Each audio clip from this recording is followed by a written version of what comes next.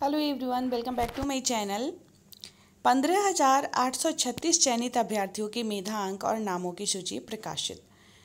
प्रत्येक ज़िले के एनआईसी वेबसाइट पर सूची जारी। हर नियोजन इकाई का कट ऑफ़ अलग अलग छठे चरण के प्रथम चरण की काउंसलिंग में चयनित पंद्रह हज़ार आठ सौ छत्तीस अभ्यर्थियों की सूची प्रत्येक ज़िले के एनआईसी वेबसाइट पर प्रकाशित कर दी गई है। वेबसाइट पर नियोजन इकाईवार चयनित अभ्यर्थियों की सूची विषयवार और आरक्षण श्रेणी और मेधा अंक के साथ जारी की गई है। एनआईसी वेबसाइट पर अभी केवल उन अभ्यर्थियों की सूची जारी की गई है, जिनकी काउंसलिंग 5 जुलाई से 12 जुलाई के बीच की गई है। आधिकारिक सूत्रों के मुताबिक देर शाम तक सत्तर फ़ीसदी नियोजन इकाइयों ने सूची अपलोड कर दी थी। शेष नियोजन इकाइयों के चयनित अभ्यर्थियों की सूची अपलोड होने की प्रक्रिया देर शाम तक जारी रही। दरअसल, शिक्षा विभाग ने संबंधित सभी नियोजन इकाइयों को 20 जुलाई तक चयनित अभ्यर्थियों की सूची अपलोड करने की हिदायत दी गई थी। सबसे खास बात यह है कि चयनित अभ्यर्थियों का विषयवार कटअप जारी किया गया है।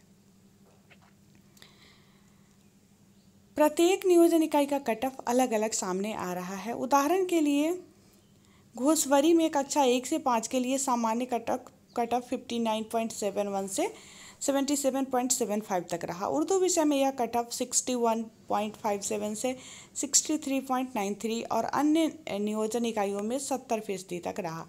इसी तरह अथम अथम, अथमल गोला में सामान्य कटअप सतहत्तर दशमलव सात आठ से इक्यासी दशमलव नौ एक तक गया। गणित और विज्ञान में कट ऑफ़ अन्य विषयों से अधिक दर्ज किया गया है। फ़िलहाल नियोजन इकाइयाँ जहाँ दिव्यांग अभ्यर्थियों ने आवेदन नहीं भरे थे, वहाँ कुल तीस हज़ार पद के लिए प्रस्तावित काउंसलिंग में केवल पंद्रह हज़ार आठ सौ छत्तीस पद ही भरे जा सके हैं। बहुत जगह देखा गया है जो जनरल का भी selection fifty nine percent fifty eight percent पे हुआ है ई डब्ल्यू एस में हुआ है। तो लोग जो चिंता कर रहे हैं, टेंशन में है, उनको बिल्कुल भी टेंशन करने की ज़रूरत नहीं है। जितने भी लोग क्वालिफाई है, मुझे लगता है सबका हो जाएगा। कट ऑफ़ को देखते हुए, क्योंकि पहले चरण में जब इतना नीचे तक कट ऑफ़ आ गया है तो अब तो नीचे ही आएगा ना।